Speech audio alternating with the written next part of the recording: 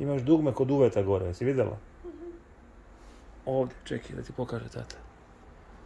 Ne ovdje gdje je ovaj pres, nego ovo, evo ovdje, evo ga. Tu, vidi. Vidiš? Ovaj pres će da sklonimo. Treba mi ovo kućić.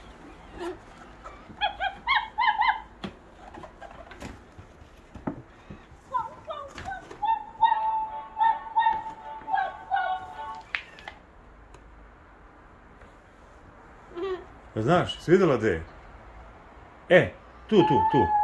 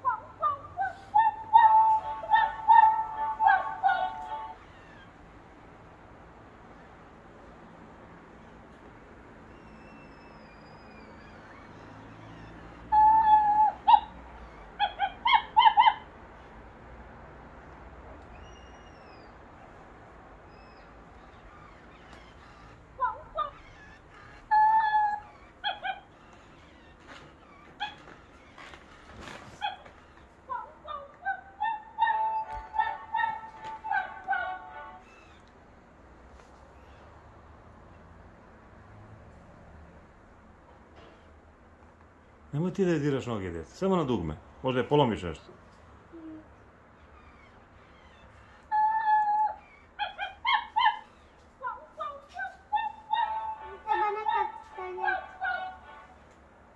Ајде ти ја задај неки задатак.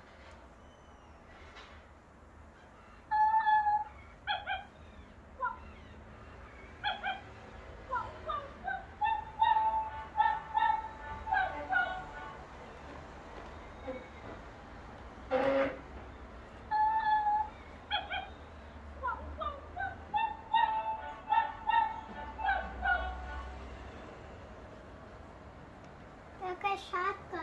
I malo nekad ode da spava u svoju kućicu.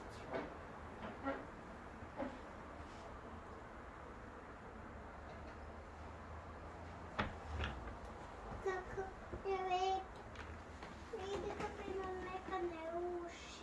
Jeste.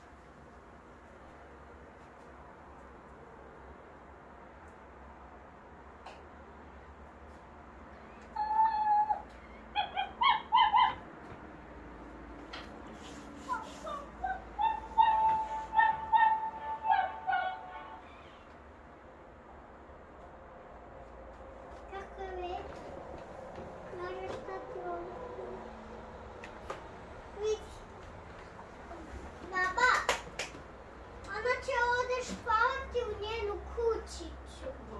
Jeste završili snimanje?